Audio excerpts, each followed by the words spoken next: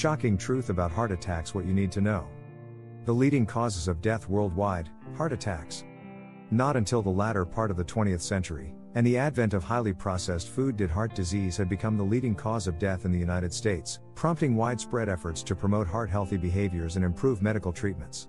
Give that some thought that it is the food industry has created this health nightmare. You might think you know everything about them, but trust me, there's more to it than meets the eye. In this video series, we'll uncover the health risk factors, symptoms, and most importantly, the steps you can take to prevent heart attacks. Stay tuned for some life saving information. Before we share more of this valuable information, please take a moment to help the channel by sharing, liking, and subscribing to our YouTube channel. Cholesterol is a waxy, fat like substance found in your blood. While your body needs cholesterol to build healthy cells, having high levels of cholesterol can increase your risk of heart disease. Risk factors 1. Diet. Consuming a diet high in processed foods and trans fats can increase LDL, bad, cholesterol levels.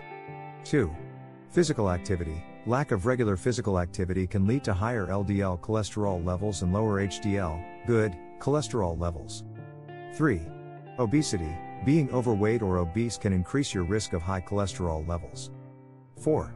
Genetics. Family history and genetic factors can play a significant role in cholesterol levels. 5. Age and gender. Cholesterol levels tend to rise with age, and men typically have higher cholesterol levels than premenopausal women. 6. Other health conditions. Conditions such as diabetes, hypothyroidism, and liver or kidney disease can affect cholesterol levels. High cholesterol itself doesn't cause symptoms, so many people may not know they have it until they develop complications such as heart disease or stroke.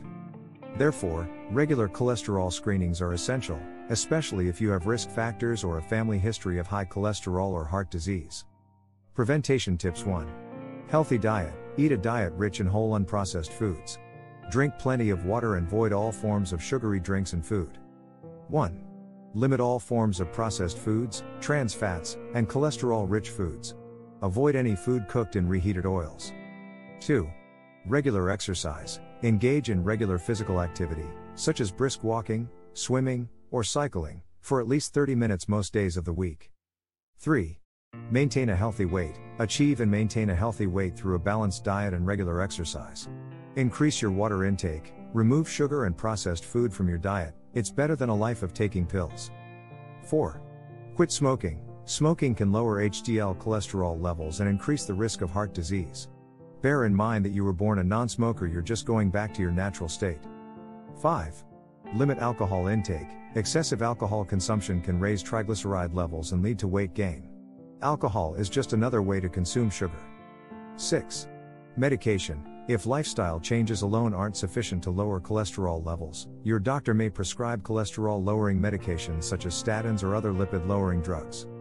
Regular monitoring of cholesterol levels, along with lifestyle modifications and appropriate medical interventions, remains crucial in reducing the risk of heart disease and promoting overall cardiovascular health. It's essential to consult with your healthcare provider for personalized recommendations based on your individual risk factors and health status. So, there you have it. Avoid sugar, processed foods, and trans fat and change your diet if you want to save your life. Arm yourself with knowledge and take charge of your heart health today. Don't forget to like, share, and subscribe for more valuable content like this. Until next time, stay heart healthy. We hope you found this discussion informative, and we encourage you to share your thoughts and experiences in the comments below. This video was created by Bill Vargas, an independent Medicare agent, which means he works for you, not the insurance companies. Go to MedicareSelfEnroll.com, enter your zip code to find the right Medicare plan for you in your area, and then easily self enroll.